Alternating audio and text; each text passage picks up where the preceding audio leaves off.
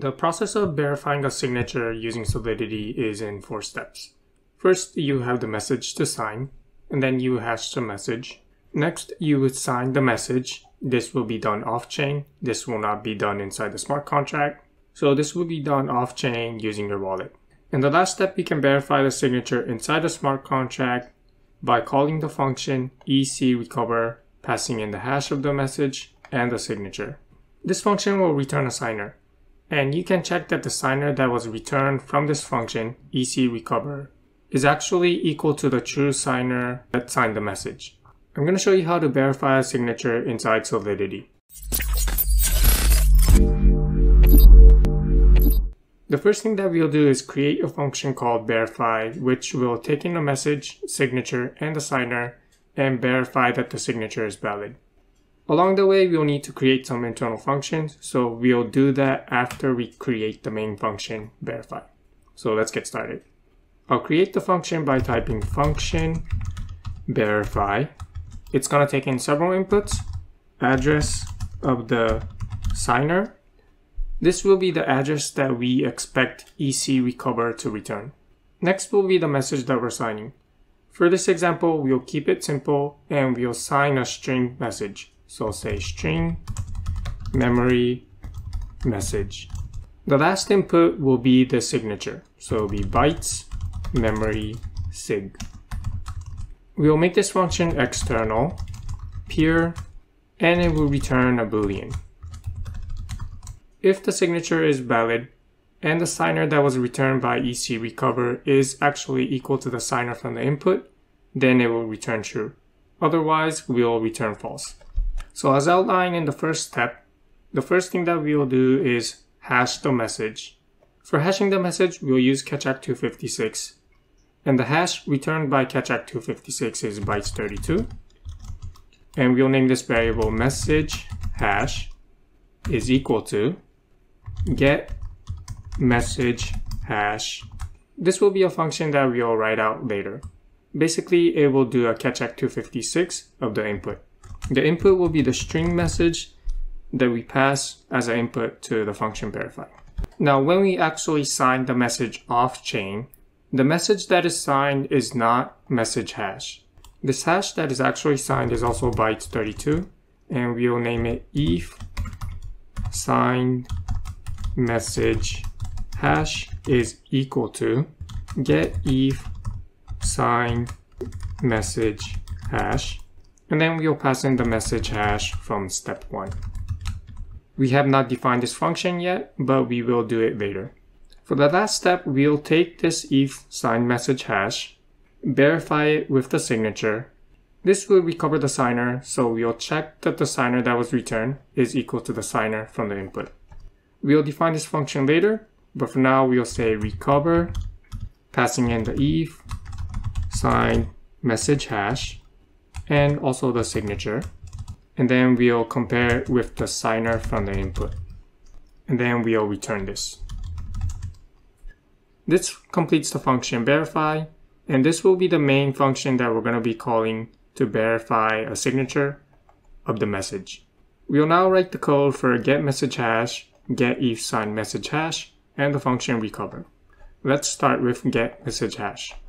The function get message hash will take in a single input, a string, memory, message. We'll make this function public. This function will be pure and it will return bytes 32 of the hash of the message.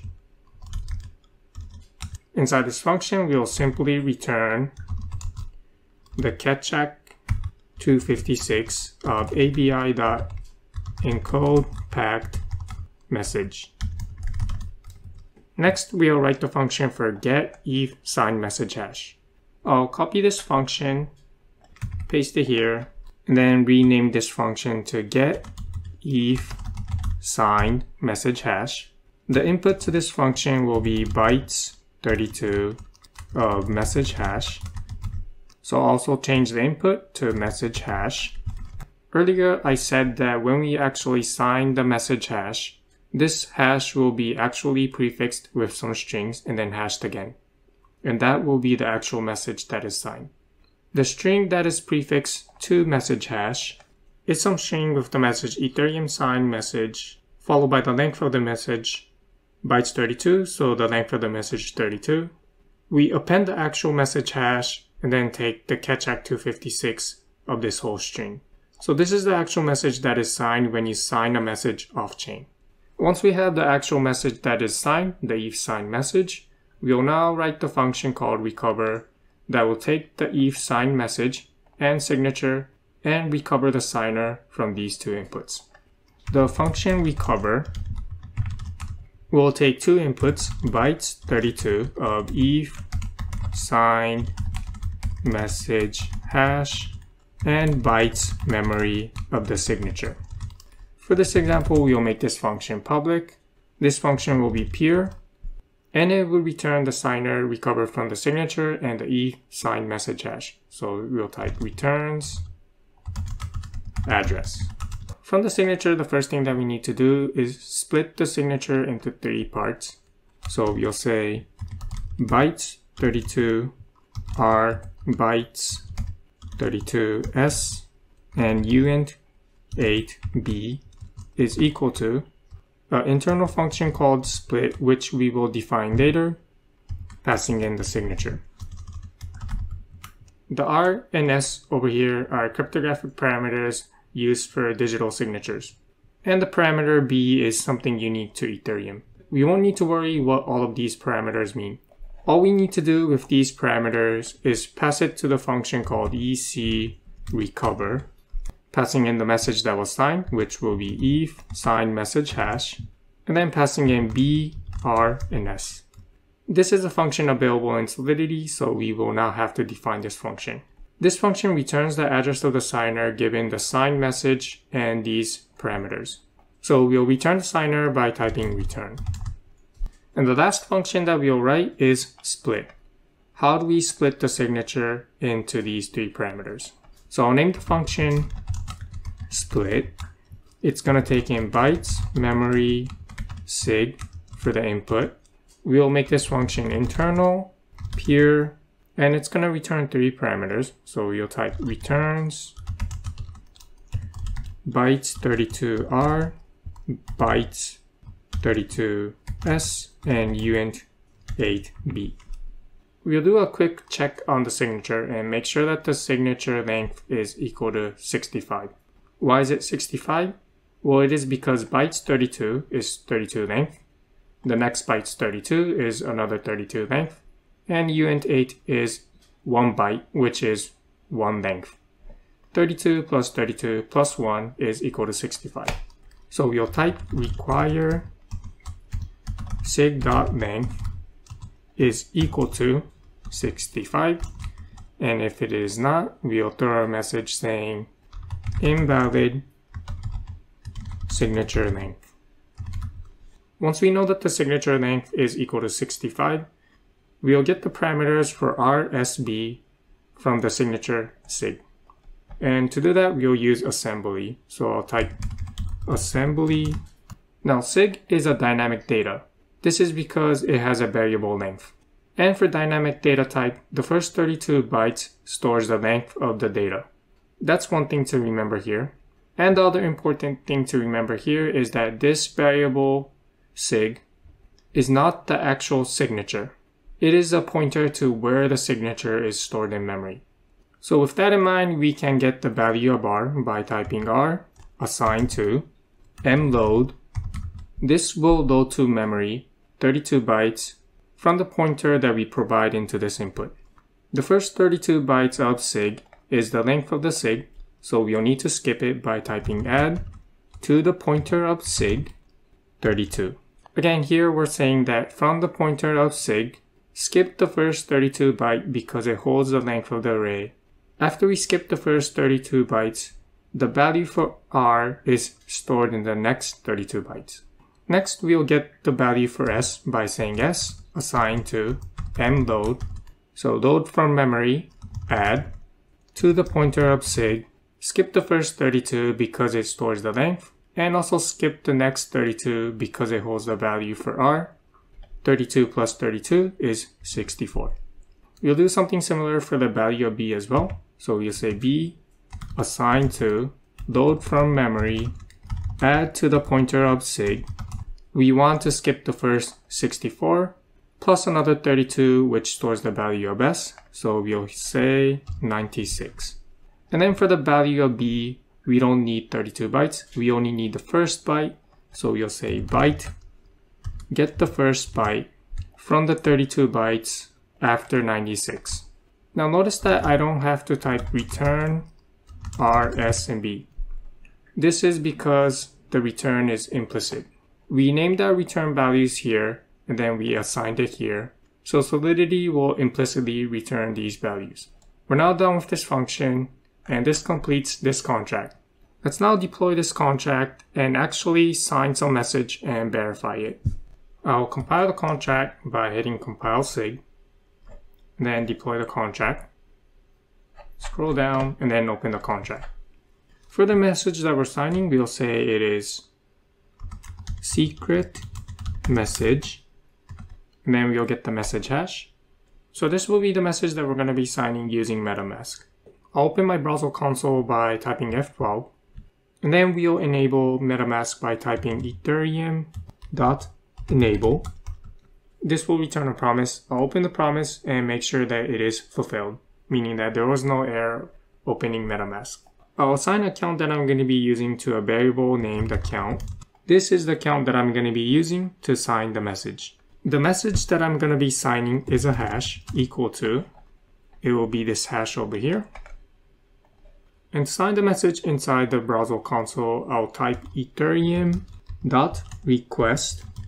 The method that I'm gonna call is personal sign. And the parameters that I'm gonna pass is the account and the hash. And then hit enter. I'll sign the message and this will return a promise again if I open it I can see here that this is the signature once we have the signature we can now call recover and verify to call recover we'll need to pass in the eth sign message hash so we'll take this hash copy it, paste it here, and then call eth sign message. So this will be the message hash that we'll need to pass to the function recover to recover the signer. The function recover takes in two parameters, eth sign message hash and the signature. So I'll copy the eth sign message hash from here, paste it here, and for the signature, we'll copy it from the browser console signature. Copy it, paste it here, and then call scroll down, and the function recover return this address over here. And if you look at the browser console over here, you can see that the account matches the signer that was recovered. So now if we call verify, for the signer, we'll again paste the address of the signer. The message that we signed was secret message. And the signature, we'll get it from the browser console paste it, call, scroll down, and the signature checks out. Now just to show you that this function is working correctly, I'm going to change the message a little bit, then call, and it returns false. Likewise, if I fix the message and maybe change the signature a little bit, for example, change the first 5 to 1 and then call, again it returns false. To give you a better idea why it is returning false, we will call the function recover. When we change the message, for example, say secret messages, and then call get message hash, this will change the hash. And if I were to provide this hash into eth sign message, and then call eth sign message, this will change the eth sign message hash. And if I were to put this inside here, then the recovered address will be not equal to the actual signer. And just to show you this, I'm going to change a valid eth sign message hash to something else by changing the first line to a 1 and then if I call, notice that the address changed. The signer that was recovered is not equal to the actual signer. I'll fix the eth sign message hash. The other case where the verification fails is if the signature is invalid. Here we have a valid signature and I'm gonna invalidate this signature by changing some of the input. For example, changing the first 5 to a 1 again, then calling call. Again, notice that the signer that was returned is not equal to the actual signer. Lisk is organizing the second edition of Blockchain Day, which will be one of the official events during Berlin Blockchain Week. Everybody is invited. Come and share your passion for developing blockchain applications. Blockchain Day is a special event for both developers and Web3 enthusiasts when they can learn more about the space and discover the most exciting insights from the industry. The event takes place on Wednesday, September 14th at the Lisk Center in Berlin. Expect panel discussions on interoperability with Web3 professionals, get insights from blockchain enthusiasts, and learn from investors' background. Plus, get ready for an exciting dive into Lisk SDK. Join an evening filled with blockchain knowledge sharing and networking combined with some food and refreshments. It's a free event. To participate, you just need to register on the meetup page, link in the description. Don't wait, take this opportunity to join the Berlin blockchain scene on Blockchain Day.